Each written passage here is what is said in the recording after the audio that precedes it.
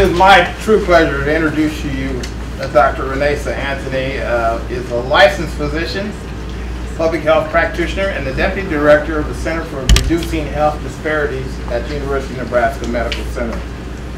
In addition her, to her uh, well-rounded education and personality, her, her uh, professional and personal commitment to eradicating health disparities and improving the lives of women, children, and families has developed over a myriad of professional and personal experiences, both nationally and internationally. She is, some of her most notable achievements include being honored by the U.S. Surgeon General for her contribution to the Surgeon General's Conference on Preterm Birth, testifying before, the con before Congress in support of the Affordable Care Act, which everybody loves. Yes. Yes, I do. And being invited back to Congress today, it passed, earning the 2010 American Public Health Association Leadership and Advocacy Award. In 2011, the National Medical Association Top Doctors Under 40 Award also was given to her, and in 2012, being selected as the TEDx Omaha presenter. I'll let you tell them what the TEDx presenter is. She embraces the framework of mentoring and mentors women across the lifespan to achieve both personal and professional goals. Dr. Anthony earned her medical degree at the University of Chicago, Master's of Public Health at Harvard University, medical training in obstetrics, and gyneco gyne gynecology and Vanderbilt University, and a fellowship in health policy at the National Institute of Health in the Office of the Surgeon General. Please give her a warm welcome. Thank you.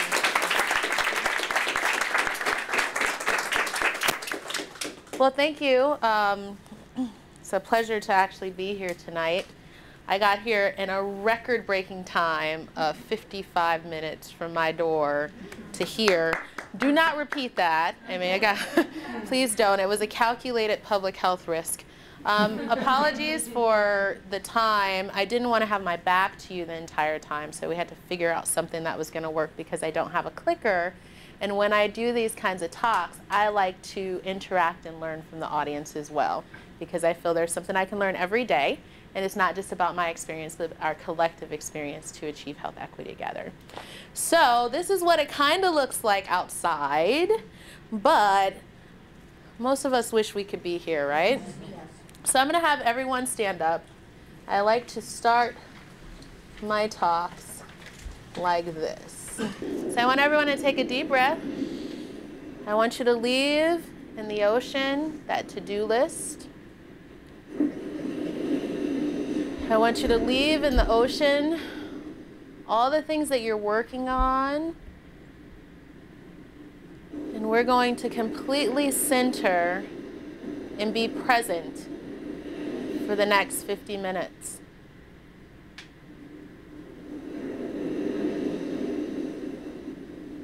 A couple of more deep breaths before we get started.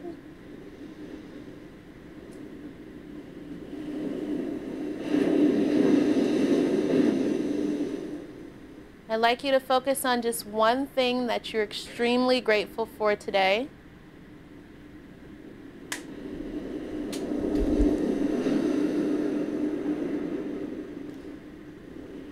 We're going to take just one last deep breath. You can open your eyes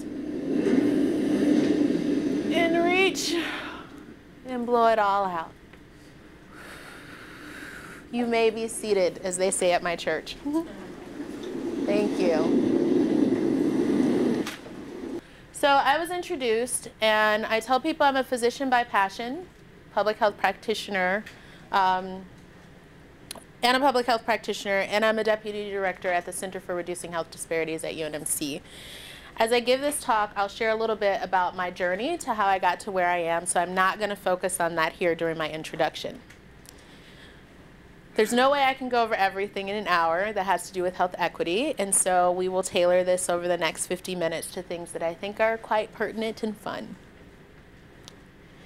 So before we can do this, it's important for me to know who I'm talking to. So who's here? How many are Nebraskans in the room? From Nebraska? Majority as I expected. Uh, I know I have a New Yorker back there and a colleague from OB-GYN.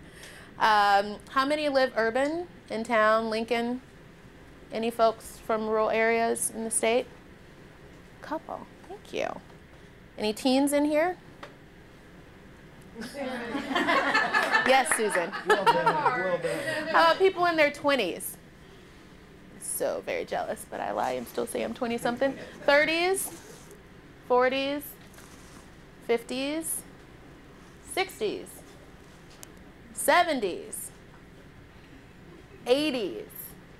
So we have from the 20s to the 80s across the life course. Thank you. Uh, how many students?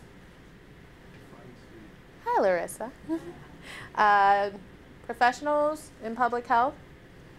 People who actually do health disparities work? A few. How many are parents in here? 50, 60%. Okay. And as I talk about these issues that I work on, it's important for me to know how much about these that you know so that I don't dumb it down or make it too um, advanced. And so I'm going to ask an inventory of one, two, and three. One is, mm, I don't know very much about that topic at all. Two is, I've heard of that topic before, I know a little bit. And three is, you can sit down because I could probably take care of this part of your presentation for you. So when it comes to the social determinants of health, just by your finger, are you a one, two, or three? Lots of twos. I'm always looking for my threes to call on, and the ones are the folks I have to convince in the room. All right, health disparities. Mostly twos and threes. What about the life course perspective? Wow. I didn't hear about the life course perspective until about five years ago, so this is a pretty advanced group. Uh, and the I care factor. So one is, hmm, I just came because I have a class and they told me I needed to come. Two is, you know, I'm really interested in these things and I like to learn. And three is, not only do I care about this, I'm willing to do something about it. Threes. Come on, there's nobody here who had to be here. Those are the ones in the back who didn't vote at all. so, what are we going to do today? Why did you come? Why have you dedicated your time? We're going to come to a common understanding.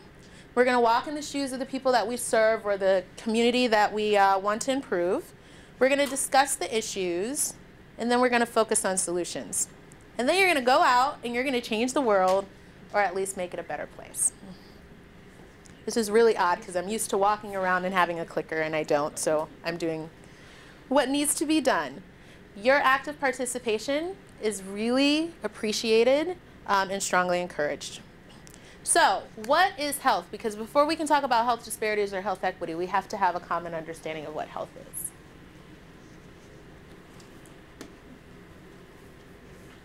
Absence of disease? Absence of disease. I'll take that. Anybody want to add to it? Overall well-being. Dr. Backrath. I like overall well-being. Overall well-being. Anybody else? Feeling good. Well, in academia, we use these very fancy um, definitions, and the WHO says that health is a state of complete physical, mental, and social well-being, and not merely the absence of disease or infirmity. And what we'll be talking about today is that social aspect, because all of us have a role in which we can improve social health in our communities. What are health disparities? access for a certain um, population versus another. I hear access over here. What about that side of the room? This side's winning.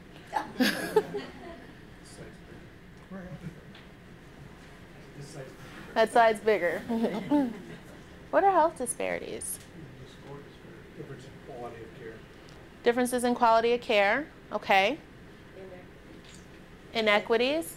Like what kind? like not the same services available everywhere, and I think access, access. Access. Okay. barriers to insurance. Barriers to Obtaining insurance. barriers to paying insurance obtaining insurance. and getting so access to insurance, access to care. You had your hand up, Yeah, sir. usually in comparison to another group of people. So- A marginalized population perhaps compared to a dominant culture. Absolutely. So those are all um, definitions that would fit under the umbrella of health disparities. And the National Institute says health disparities are differences in the incidence, which are new cases of things. So I am what my father would call a vaginologist. And I think of things from a sexual perspective. And so all my examples have to do with women or STDs. So for this example, I'm going to use HIV. So incidents are all the new cases this year of people who have been diagnosed with HIV. Prevalence are the people who have been diagnosed in the past, and because we can't cure HIV, those are the people who have existent numbers and are considered HIV positive. Mortality are those who have died from HIV, and the burden of disease is what we call morbidity. So if you're HIV positive and you have cancer as a result, there are certain cancers that are specifically related to HIV, like cervical cancer, for instance, then that's a morbidity. And we know that there are differences in certain groups with different populations in the United States. And I like this part about special population groups because when we talk about disparities, what often happens, especially when I'm talking, is that people think of skin only and skin color and racial and ethnic disparities. But right here in Nebraska, we have disparities between rural groups and urban groups. When I was going, um, I'm being recorded. So when I was a law-abiding citizen getting here from Omaha, the reality is down I Highway 80, if I would have gotten in an accident, I probably have a much higher likelihood of surviving that accident than if I were to get in that accident, say, in the middle of the state out where North Platte is. Um, to get to me from uh, North Platte for the helicopter to leave UNMC or somewhere from Denver, the time that it takes, I could completely have a traumatic brain injury, bleed out, and that's it. And so geographic location um, is also a health disparities. So in the United States, people live long. What do you think's the average lifespan? This side. 78. We got folks in here in their 70s, right? And they don't look like they're going anywhere anytime to me, or I hope not. So 78. What about this side? 81. 78 to 81. Anybody want to give a difference? Is that a good range for you? 70? 75. 87 for women. Okay. Can't click. Gonna get my exercise. The US life expectancy ranges from 70 to 83. I can't add, I'm not an engineer. What's 83 minus 70? 13. 13. And by a show of hands, how many people, if you could have 13 additional years of quality life, would turn it down? So everybody would want 13 additional years of life if you could be healthy. There are factors that we know everybody is not going to be afforded 83 years of life. And the sad part is there was a time where I delivered babies, and based on the gender, the race, and if you gave me the zip code these days of that baby, I could be almost within 75% correct of the life expectancy of that child, short of they get in an accident on I-80 or a helicopter or plane falls on them. So the data says, this is one of the greatest examples of health disparities. We know that from a racial standpoint and a gender standpoint, that everyone is not afforded the same amount of life. White females live the longest, and the difference between Caucasians and African American women, that's a disparity. That's a difference. Disparity is just a fancy word for differences.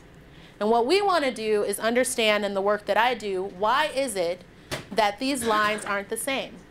Why is it that when you're born, and you're born female, which you have no control over, and you're born African American or you're born Hispanic, that there is a difference in terms of prediction of how long you will live.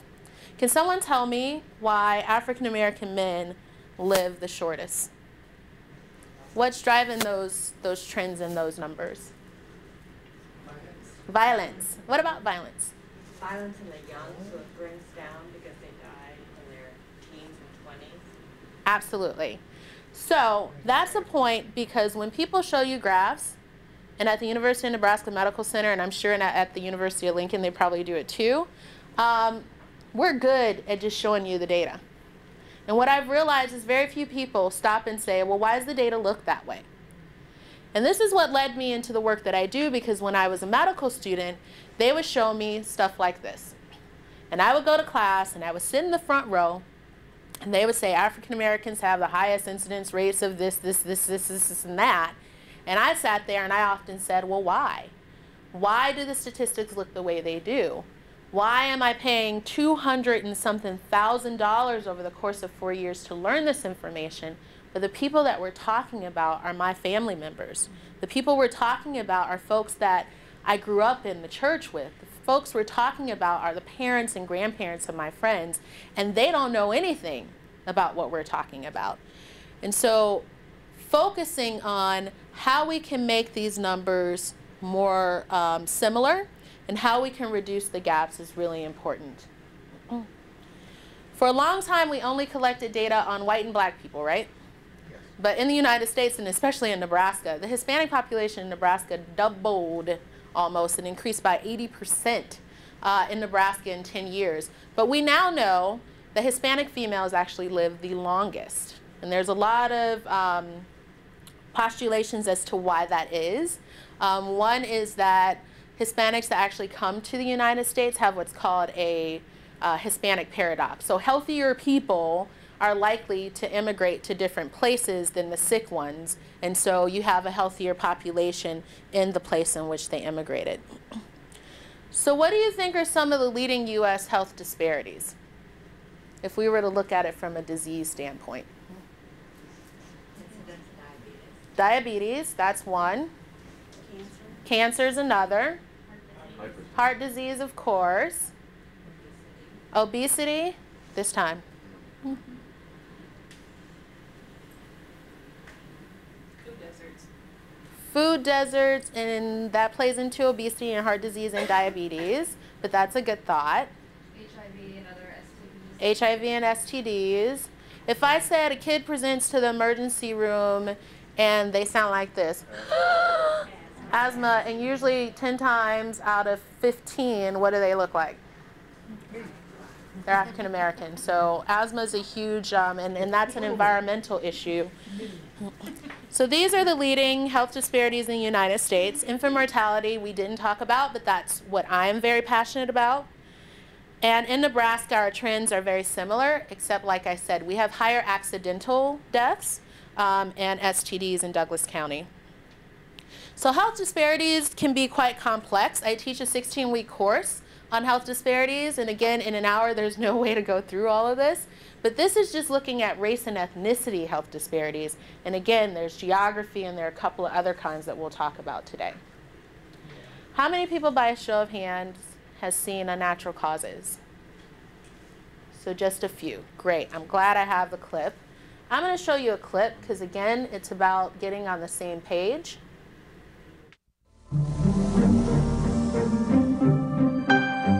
There's one view of us as biological creatures that we are determined by our genes,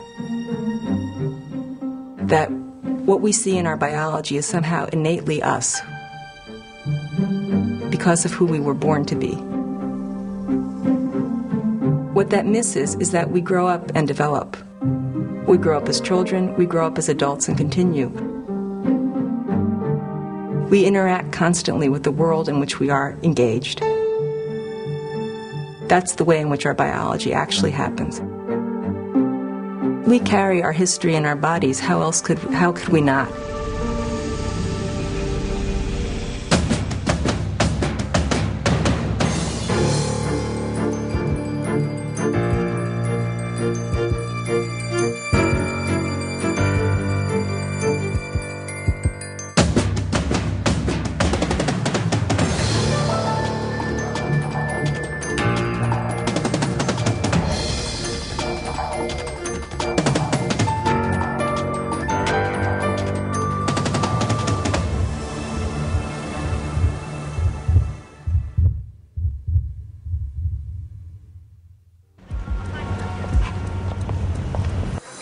Living in America should be a ticket to good health. We have the highest gross national product in the world. I'm very happy to finally have some of my cars in one location, some of them. We spend $2 trillion per year on medical care. That's nearly half of all the health dollars spent in the world. But we've seen our statistics. We live shorter, often sicker lives than in any other industrialized country. We rank 30th in life expectancy. Especially of economically developed countries, we are at the bottom of the list. A higher percentage of our babies die in their first year of life than in Cuba, Slovenia, Estonia. How can this be? Is this just because 47 million of us have no health insurance? Healthcare can deal with the uh, diseases and illnesses, but a lack of healthcare is not the um, cause of illness and disease. It is like saying, since um, aspirin cures uh, a fever, that the lack of aspirin must be the cause of the fever. Or is it mostly because of our American diet and personal health behaviors? Those behaviors themselves, in part, determined by economic status. And so uh, our ability to avoid smoking and eat a healthy diet depends, in turn, uh, on our access to income, education, and what we call the social determinants of health. But wouldn't our genes trump social determinants of health?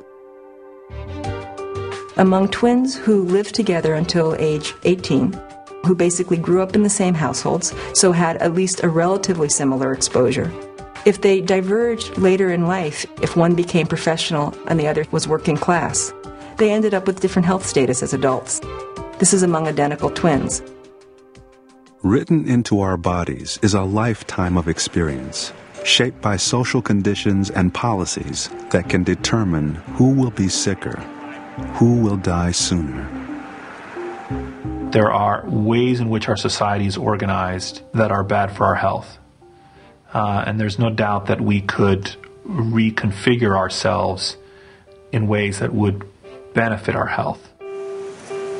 There are huge inequalities in the society. All this wealth is maldistributed.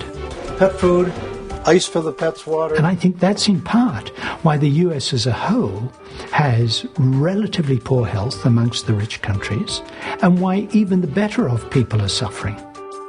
And we think that that is not inevitable. So that's just the five minute trailer. Um, this is about five hours with a couple of different um, topics through each of an, the unnatural causes. And if you haven't seen them, I strongly recommend it. So, why am I here and why do I do what I do? Um, I was born and raised in Detroit, Michigan.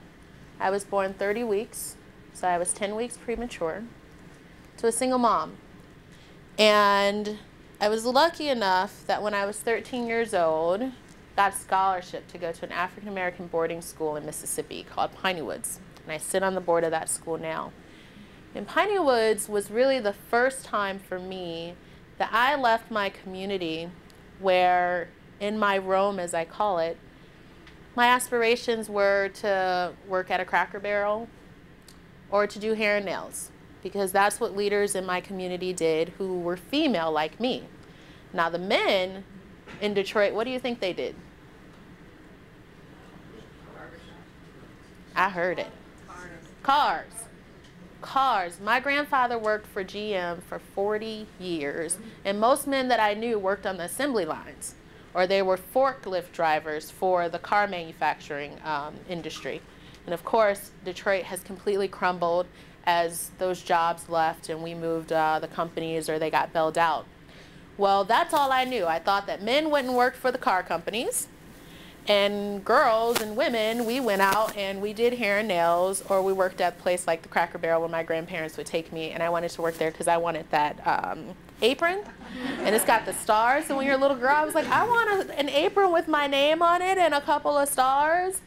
Well, when I was 13, my grandmother goes to a church, and her good friend, her son, was the president of that school.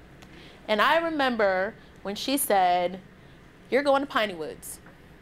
And I thought, I don't want to leave here. I don't want to go to Piney Woods. I'm, I'm happy where I am. Um, but I didn't have a choice. So I was sent. And at Piney Woods, I will never forget, they asked me for the first time, where are you going to college? Not am I going to college, but where are you going to college? And I kind of looked and I was like, I ain't going to college. I'm going to do hair and nails, just like that. and it was, I am not. And I was like, no, I ain't. and in the course of four years, I learned that yes, I was going to college and that ain't is not a word even though it's in the dictionary. And I learned how to say yes, ma'am, and no, sir. But really, what Piney Woods created was an environment that educated the head through academics, the heart through service, and everyone um, had to work, so educated our hands as well.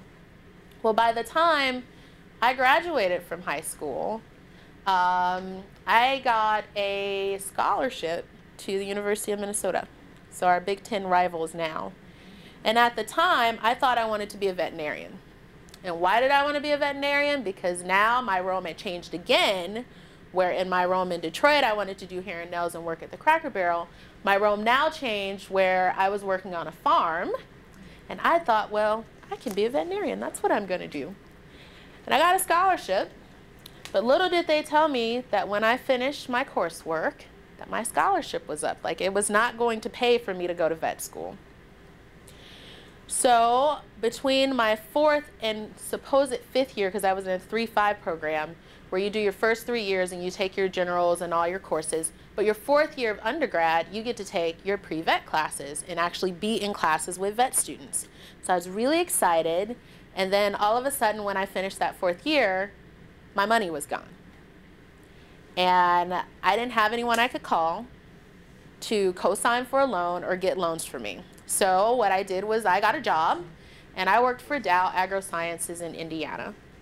And when I moved to Indiana, it gave me an opportunity to go back and forth to Detroit. And when I went back home, my lens was radically different in what I saw. And what I saw was what a lot of people who do community work do. I saw all the problems right? So I had lived in Minnesota. By this time, I'd been out of the country. I'd been to Korea. I was a college student. I was doing really well. And I come home, and all I saw were the issues. What were some of those issues? Why is it when I come home, there's bulletproof glass everywhere? So I can't go to McDonald's even when I go home now. I cannot go to McDonald's. I cannot go to the corner store without an entire fronting of bulletproof glass and then you have to hand over money through this thing that spins around, and then they give you what you want, and then they give you your change back. So I wasn't used to that. I wasn't used to when I had to pump gas, I had to get out of my car, and if I was going to use a credit card, I had to show ID because they assumed that the credit card was stolen. I also wasn't used to going to the grocery store and not finding fresh produce, um, and to my dismay, finding grocery prices that were 15 to 50 cents more expensive than in the community that I lived in. But one of the things that stood out is all those kids that I grew up with, that I left and I didn't want to leave, many of them by this time now, all my girlfriends had, if not one, most of them had two babies. Most of them had baby daddy drama, meaning that they weren't together and my baby's daddy does this and my baby daddy does that. And I remember my good friend, I was sitting down and I said, you know, why do you go through all this? She's all about her hair and she's all about her nails, and it's expensive, right? So to get your hair done and your nails done probably costs about $50 each time just for um, your hair alone. And she said, because I said, well, you have two kids, you have a baby's daddy, why do you spend your money on these things when you could really be investing your money to do other stuff?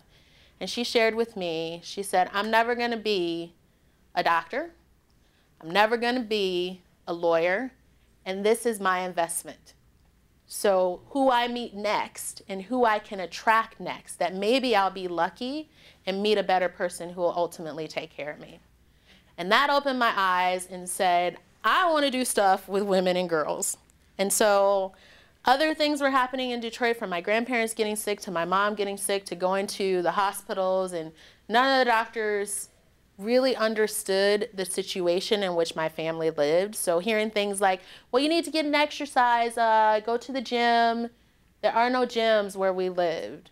Things like these are the foods you should cook, and when you give them to my grandmother, that's not what she cooks for Thanksgiving. That's not what she cooks on Sunday. And so it wasn't culturally appropriate. And so I thought maybe if I became the doctor, I could fix the problem. And so I got accepted to the University of Chicago, and I left Minnesota, went to Indiana, went back to Minnesota. From Minnesota, went to Chicago and started med school. And on the south side of Chicago, I saw a lot, I heard a lot, and I really saw how medicine works. And I would see people who would come into the clinic or come into the emergency room who looked like me, and more times than not, they were presenting later with disease. So I had this lady who came in, she was in the emergency room, and you could see she had a huge pulsating vessel. And I asked her, Well, how long has that been there? She's like, Oh, it's been there for a while. You know, it wasn't bothering me, so I didn't think about it. And then I said, Well, what made you come in today? Well, her daughter saw it and said she needed to come in. Now, she's coming through the emergency room for this, which I'm glad she did come through the emergency room, but this is something that in usual you would probably go to a primary care physician to see, but she didn't have one. Well, lo and behold, that big vessel was an aneurysm of her abdominal aorta, which if it ruptures, it can kill you. Most times if it does rupture, it will kill you. So because she came through the ER, we were able to get her upstairs to vascular, and when I called that consult, the reality was since she's stable, we don't take her here, we had to shift her off to Cook County. So as long as a patient is stable, you can transport them or transfer them to another institution. And that woman looked like me. That woman looked like someone that, you know, I grew up with. And I just couldn't understand at that point, like, why why aren't we taking care of her? Why is she being shipped off to another hospital when she presented to us. And there are many stories I can tell you similar to that. Anyway, I decided um, everything I loved was women's health. Everything I read and didn't flip to the back of the book to see how many more pages I had to go. Um, I felt comfortable saying things like vagina and gonorrhea. I do not feel comfortable saying penis, though. It's a word that I don't say often because um, it's not the work I do. But one of the things that really, really got to me when I was a medical student was the picture of this woman and this woman here. And so if I were to ask you, because they're both pregnant, which one do you think is most likely to have a baby born full term? The one on the right or the one on the left? Right? Um, who's most likely to have a baby with asthma? Who's most likely to have high blood pressure during her pregnancy? Who's most likely to have a husband? Who's most likely to have a baby that will actually blow out their first birthday candle? This one. This gets into the whole infant mortality piece. Uh, which one's more likely to have graduated from high school? More likely to have graduated from college? Most likely to have gestational diabetes. So we don't know anything about these women. Nope. We know their gender, we know their race, we know they're pregnant, and we know what the statistics say. And for two years, I sat in my medical school classes and I learned how incidence rates for gestational diabetes, preeclampsia, hypertension, infant mortality, you name it, you look like this. And again, my question was why, why, why, and why? Because I don't think you should be able to look at people and make those predictions. So this is the reason why I do the work that I do.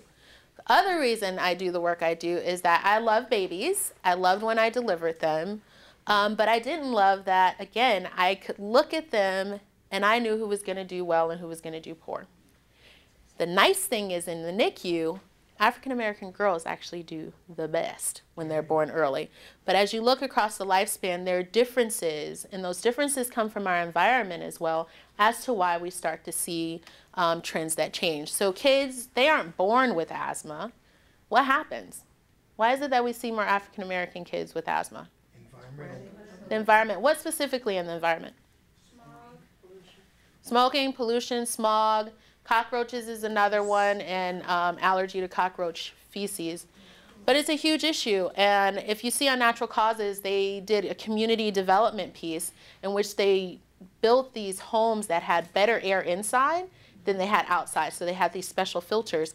And kids who were suffering with, you know, three, four visits a, a month to the ER started having visits less frequently, like two times a year. This is what got me when I said, I can't just deliver babies all day. I have to find something else to do to be able to address the issue. Because by the time patients come to me, they're already sick, they already have an issue, and very rarely do I get an opportunity to focus on what I love to do now, which is prevention. But this shows infant mortality rates. And so I'm not a mother. I still hope to someday be a mother. But what really gets me is that education is protective. So the more education you get, despite race, you are more likely to have uh, better outcomes when you compare in your same group. But if you're African American like I am, in case you didn't know, um, and you have 16 plus years of education, that would be me, my risk of having a baby that is going to die in the first year exceeds that at 11.4 per thousand of a Caucasian woman who has less than 12 years of education. And that's a problem. So it goes down across educational um, sectors, but even here, it's 11.4, and that is an issue. So a lot of people talked about health care, and it's not just access to health care. It's these social determinants of health, poverty, education, housing, racism. A lot of people are doing research like Camara Jones on the impact of racism. Employment, transportation, access to health care is what you talked about. And just to show when you talk about community health, healthcare is just a small component of all the different factors that ultimately uh, contribute to community health. This is the life course perspective. Uh, Dr. Michael Lu uh, does a lot of work in this area before he became director at HRSA. But this really says that over the course of your life, there are different factors that impact your health, but they're all combined together in terms of your risk. And so early on, your family has a large influence on what you do, what you eat, where you go, your environment. So when I grew up in Detroit, for instance, I had no control that uh, my mom may have not had a public health person or public health nurse knock on the door and teach her all about healthy eating and which fats are good and which fats are bad. And so I grew up in a household where whole milk or 2% milk was the norm, and it still is. Anybody still drink 2%? I mean, whole milk? Very few people. When I go home, my whole family, they are still on the whole whole milk thing. And to be honest, they think that uh, 2% milk is watered down. So when I try to explain to them it is not water, it's the fat that's been extracted, um, I get nowhere. And that's very frustrating as a physician that I can't even influence my own family sometimes. Uh, as you get older, you start to make your own individual choices. So smoking and drinking and what you choose to eat now becomes within your control. And I share a story about growing up in Detroit where it was a treat to go to places like Red Lobster. Anybody go to Red Lobster? I still go to Red Lobster, and I don't lie about it. When I grew up, anniversaries, birthdays, Red Lobster was like the treat, even though I had to order off the kids' meal. Well, when I became an adult and I transitioned from Detroit to this black boarding school in Mississippi, to a Big Ten university in uh, Minnesota, to Chicago with students from Harvard and Yale and all these other places. I will never forget the embarrassment I felt when it was my birthday. I was like, let's go to Red Lobster. And they kind of looked at me like, you go to Red Lobster? We don't go to Red Lobster. And I thought, well, what's wrong with Red Lobster? Red Lobster's still good. And when I moved here, um, I won't share which birthday that was. I was like, I am going to Red Lobster. And I'm going to Red Lobster because now, after all this hard work, I can afford anything that's on the menu and it's still really good food. But what we ate more of other than Red Lobster are things like Popeye's chicken. Anybody been there? Yesterday. Yesterday. Okay. Okay. What'd you get? Do you like the red beans and rice, that's my favorite. The red beans and rice and the biscuits, KFC, McDonald's, all those places. Taco Bell, back when they used to wrap the taco light that I got in this like aluminum foil stuff. That's what I grew up on. And oh, White Castle. They don't have a White Castle here. Well, as I went and transversed in and out of these different Romes, when you're in Rome, you tend to do what the Romans do. And it was at Minnesota that I learned people exercise, right? Where I come from, exercise is not a normal thing. People don't do it, they're working too many jobs, there are a lot of other priorities. And my roommate woke up and she kept leaving, and I was like, where's she going? and one day I asked her, where are you going? Oh, I'm gonna go run. And that to me made no sense. Like, where? Where? where are you running? Like, why? Why would you go run? Because at the time I could not connect. Running is cardioprotective, and what she's doing are things to protect her health while I'm studying and still trying to get to White Castle whenever I can, right? Because what you eat doesn't necessarily compute to how does that have anything to do with my heart when it goes to my stomach? How does that have anything to do with my blood pressure? And for the average person making those connections, it's not there. And you don't see the immediate impact and the immediate effects, so it's really hard to get behavior change. Well, what changed my behavior? Well, by the time I got to University of Chicago, I learned that you don't say, we're going to do our birthday at Red Lobster or let's go to Popeyes for lunch or dinner. And I moved here about three, four years ago, and I was on my way to the airport, and I needed to grab something really quick because I hadn't eaten. And I went to Popeyes. I made better choices. I got a kids meal. Um, but I was not going to get on that airplane with my Popeyes bag.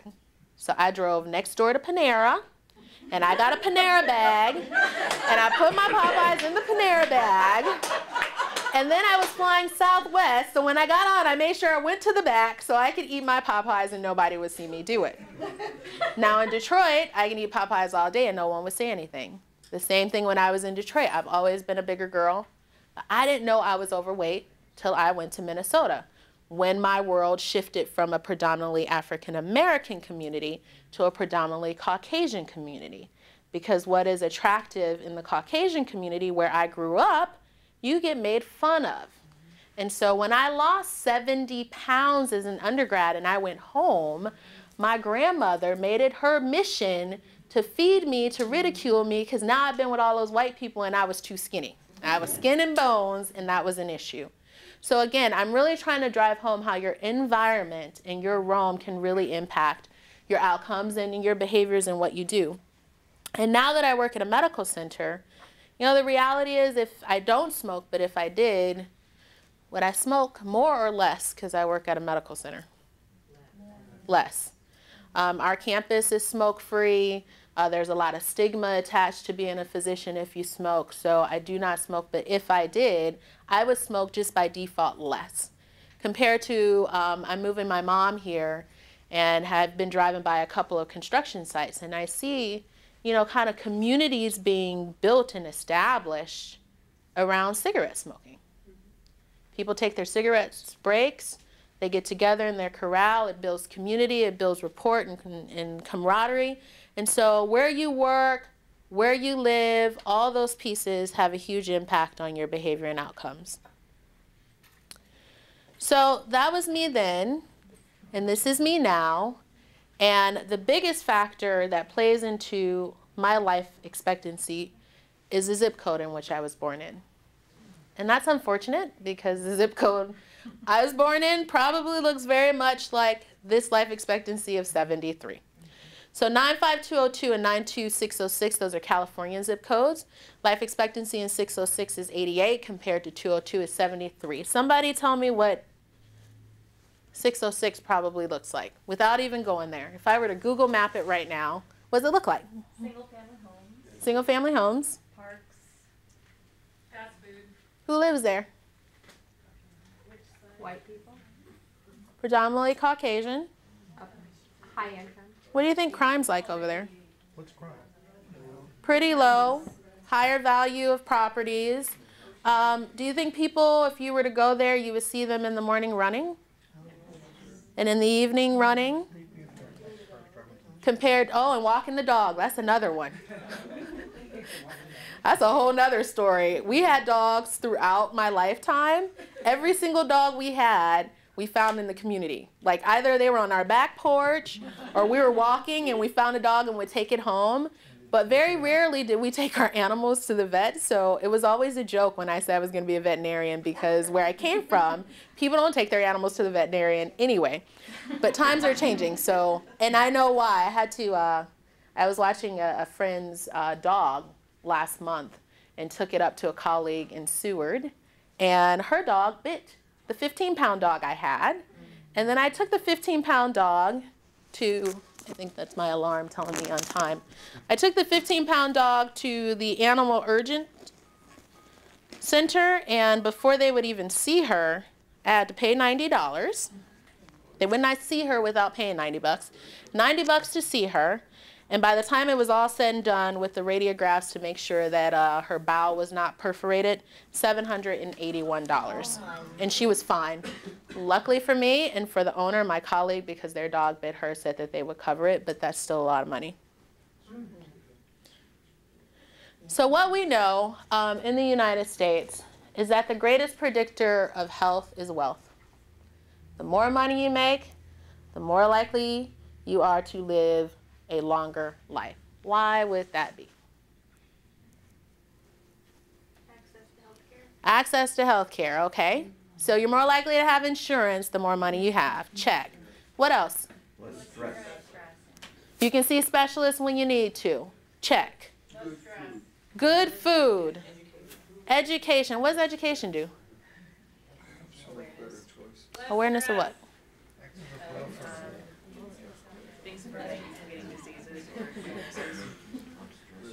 I'm sorry. Risk factors. So it decreases risk factors. Didn't hear her answer, sorry. She was saying, um, he said that risk factors are decreased when you can get healthier foods. And she was talking more about the environment, so the choices that you can make as well. Less stress. Less stress. Big one. Stress doesn't necessarily change, it's less relentless stress. So I was stressed this entire week trying to get a grant in that I pressed sin right before I had to speed down, I mean, follow the, the law and, and get here. Um, and that stress level I felt. But the reality is, when I'm done with this, I can take a deep breath and I have control of my life again. Whereas there are people who over and over and over are insulted by that kind of stress. What else? With, with stress, if you have no money, Popeyes is the way to relieve the stress. If you have money, you can go to a movie or a theater or do things, go to an expensive restaurant or sauna or whatever. Very true. And that speaks to family of origin things. And there's research coming out in that. So, my family of origin, the cultural norm for perfect, protective health behaviors is very different than the community and the cultural norms in which I live in. But I can tell you, this past week, under the stress that I've been, I have eaten, or is it I've ate? Who's the grammar person? I ate, I've eaten. I got it right! I have eaten worse than I have probably in the past six months. And I didn't go to Popeyes, but I ate brownies and chips and stuff that I went to food as a comfort place, but family of origin type of food. So this weekend I'm supposed to work out more. The biggest reason why income is protective, the more money you make, the more likely you are in an environment that has protective behaviors for health. The less money you make, the more likely you are in environments that by default have cultural nuances that are detrimental to your health. And so, an But example. is- But you mean more than cultural, like also environmental? Yes, environmental. And when I say culture, I'm interchanging it between um, racial and ethnic culture to actually socioeconomic culture. And so that was the distinction there. So I'm talking about an SES culture. And that SES, there's how many people read a book called Bridges Out of Poverty? Great book. And a very quick example. In Bridges Out of Poverty, they talk about what the norms are within that SES, the cultural norms within the social economic group, and that you must perfect those norms to be able to um, be effective and sustainable in that group. And if you switch from that group to another SES, you must learn the nuances and the rules in that next group and as you move on. So when you look at impoverished communities in which I grew up, when you eat and you're done, what do you think is the question? Are you full? Who said it? Are you full? Did you get enough? The focus is really on did you get enough? Are you full? For instance, growing up, taking Tupperware, not a problem. You can get a plate, you take it home with you. When I moved into more of a middle class community, what do you think the question is? Was it good? That's right. The focus goes from did you get enough? Because that's not a question. There's more than enough if you want it. It's how good was it? Did you enjoy the meal? And then you move into that group, the upper echelon and the wealthy, where at the end of the day, it is not about did you get enough or how good it was. What do you think it's about?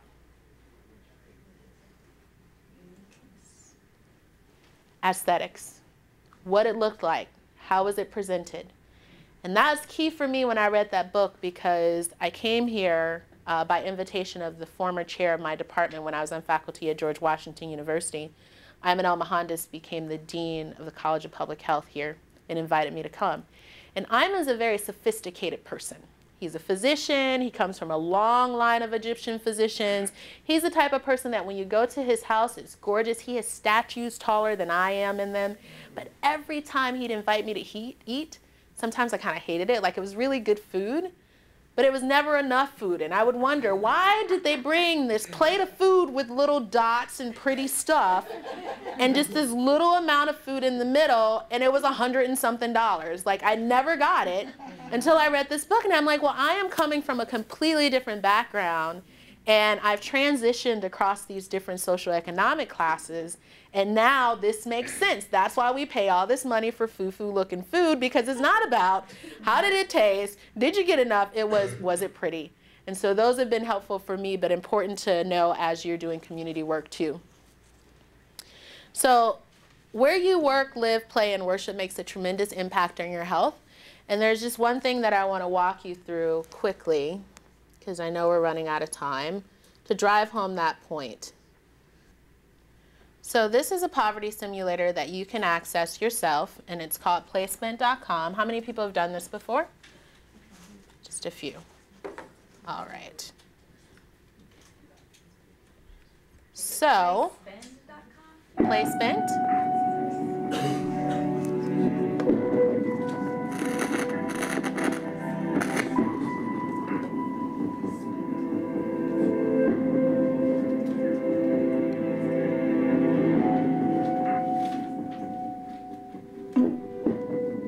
So you're down to $1,000, which is a lot more than most people have in the communities that I serve. And you don't have a job, you lost your house, um, and you have to make it through the month. So, I'm going to do it by side. On this side, do you want to get a job or you want to quit? Get a job.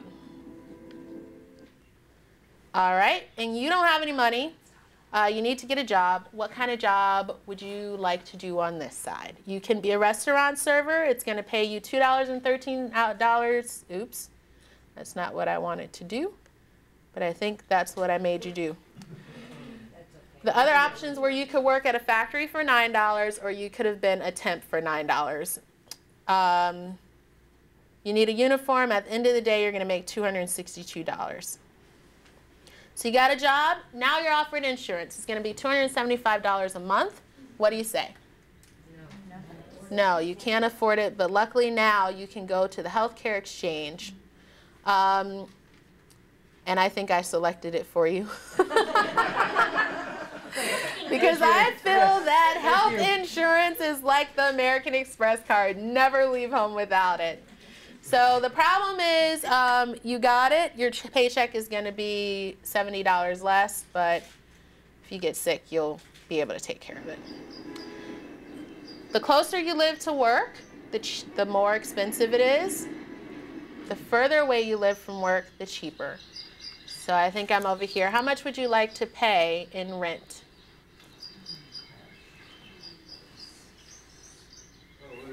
Like to pay or can afford to pay? $262 a week. 760 if you live 50 miles out. 855 if you live in. Go three quarters. Three quarters of the way. $800. Okay. So we would do $800. You're 30 miles out. Um, lack of affordable housing is the number one cause of homelessness. For every dollar you save um, on housing, you're going to spend 77 cents on transportation. Your apartment's too small over here. Uh, what would you like to do? You can rent a storage unit for $45 or you can have a yard sale because you don't have internet. Great, you made 150 bucks. And then your landlord came in and was like, hey, you know, glad to have you here, but I'm going to be raising the rent uh, because there are some things I need to do to this place. When you argue that the increase is illegal, you're told, well, if you don't like it, you can just move out. So do you want to find somewhere else to live or you're going to pay the 150 bucks? I like that. He says, I'm just not going to do anything, which is not an option. I don't have the money to move, I guess I paid the hundred and fifty. You're gonna pay the 150.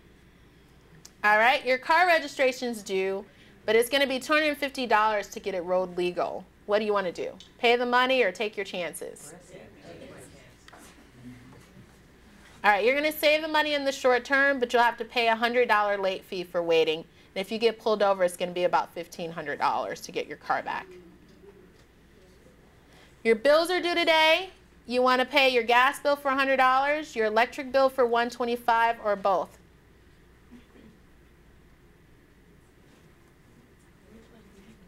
What season is it?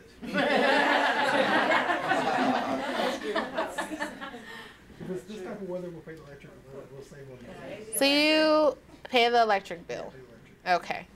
So this gives you an example. We can't go through the whole thing, but I encourage you to go to playspent and walk through it. You need to get through 30 days. I've had groups that make it to 10 days and then they're done. And that just gives you an idea of walking in the shoes of other people. But more importantly, you start to feel that um, stress and the relentless stress when you don't have uh, control.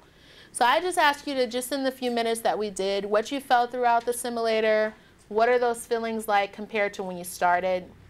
And as we think about the social determinants of health and health disparities, what are some important uh, choices that need to be made to ensure that uh, the adult in the simulator and there's a kid have good outcomes? So it was hit on the head back there with what's all this have to do with health outcomes? It really is stress and your stress levels. And the reason that's important is that um, it's highlighted, and I think Unnatural Causes does a great job, but it's really true. You have adrenal glands, um, and those adrenals release cortisol whenever you're stressed. It's really made for if you go out to your car and somebody, you know, is trying to rob you, your fight or flight um, sympathetic nervous system will kick in and you spill cortisol from your adrenal glands and it makes you run faster, it makes you think quicker, it makes you do a lot of things more efficiently. The problem is when you have that on and it's never turned off, you're spilling cortisol all the time, then it really can be damaging to your body. And so stress management is really important. So as we talk about this kind of recipe for health equity, it's important to have wonderful fresh ingredients and not bring in Popeyes and Taco Bell to the table. Um, and I wish it was as easy as apple pie, but it isn't. And these questions here, I think, get to what I would have discussed. And I gave a TED Talk last year. I presented my recipe for health equity. It's research, which I just submitted my grant today. Education, I love doing these kinds of things and working with students. Community engagement, love getting out on the ground and working with people, identifying what some of the issues are and addressing them. Doing it not just from medicine, but from medicine, public health, working with housing, working with organizations that I'm on the board of like Girls Inc. and the Urban League. Public health and policy is really important, as you can see, working on the Affordable Care Act really resulted, whether people like the bill or not, in some um, outcomes that are really going to improve people's lives. And evaluation, I have to put it there because I'm in public health. Everything we do, we should evaluate. So these are just different things that I've done that fit into my recipe. Um, Nancy Pelosi, I met after uh, passing the ACA, and just to be and talk to her um, as a physician in support of making sure that people have access to services was really important. Um, as you can see, that's President Obama. and then this is with the Surgeon General, and so I've really taken the message from Nebraska and the many places that I've been uh, across the nation and really to Capitol Hill to really have policies and legislation that impact larger masses and groups of people. So the goal is health equity, and you can read, I don't need to read to you. And thank you. Yes, thank you. And if you have any questions, um, feel free to ask them now. I'm sure Dr. Anthony will be glad to help with an answer. I have one question. You hear a lot about uh, people, families. In my family, for instance, diabetes is prevalent. I mean, almost every one of my mother, father, grandparents, genetically. How how do you ever break that cycle? Even if you're exercising, right foods, whatever. Is it something that is just going to be a part of you because of your genetic makeup, or So there are certain diseases that are genetically transposed. So sickle cell, if you get the sickle cell genes, you're going to have sickle cell and you're going to pass that trait on to your offspring. So that's a whole different discussion than something like diabetes and hypertension. There is a genetic component, but in research we say the genetic component for things that are not like sickle cell can only account for about 20% of the outcomes. And that's where this whole field of epigenetics come in. That you can have the genes, but the environment is what turns those genes on or turns those genes off. It's the difference of having diabetes and being diagnosed at 50 versus doing protective things and you're diagnosed at 75. so And- far I haven't been diagnosed at all. That's right, and you're not. Just make them keep paying your paycheck, and then the greatest predictor of health is wealth. And when you can do things to prevent that, that's what's important. Yes, sir. Uh, You were born in a particular zip code, but you've changed that, and you've changed a lot of uh, things that go on in that. Is that going to change your life expectancy? Um, I'd like to believe so, but science doesn't like stuff like that. It's too messy for the data. And so we know that there, if, if I were born into the zip code that I live in now, my life expectancy would be, say, here. The zip code in which I was born in, my life expectancy is here, so I should, you know, average out somewhere in the middle. Um, and I've already seen just differences. And I think the, the greatest thing that I have is I have knowledge. My education has saved not only my life a couple of times, but even family members from being able to say, you know, that's a lymph node that's in your supraclavicular area. It should not be there.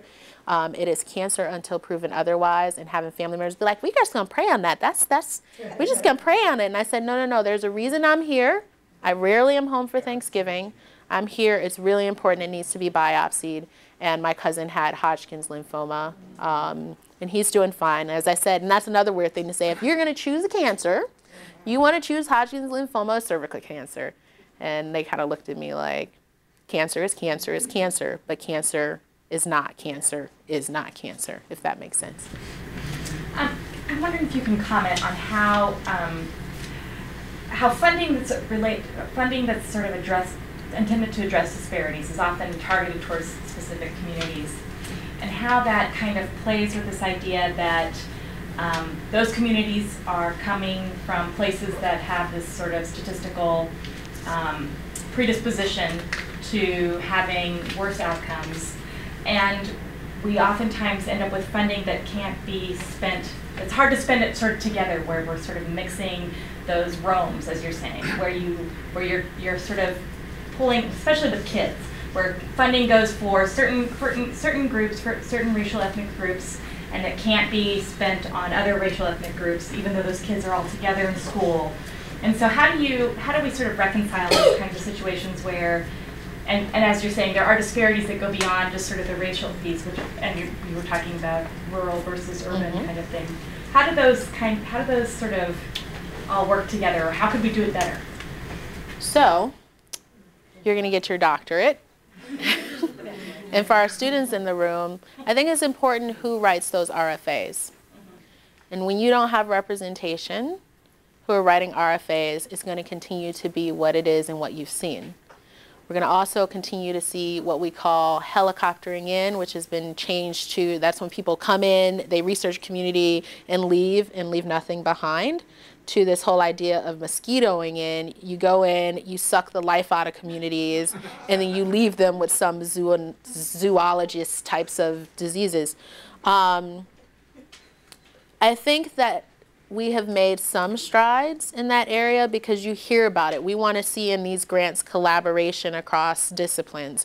We want to see that you're working with the community. I think that's one of the most important advances that we've made from how we write RFAs for funding is that you have to show that you're partnering with the community. Community-based participatory research is fairly new. And that's saying, okay, you researchers, what do you know about the communities that you're trying to impact? We're not going to fund this research unless you have community leaders and community people that are influencing and dictating how you roll out your protocols and your plans. So I think we're moving in the right direction. I'm looking for you and the other young people in the group to move it even further. But you're, a stu- you're one of our students. I'm waiting for you to come back. Let's give Dr. Thank you.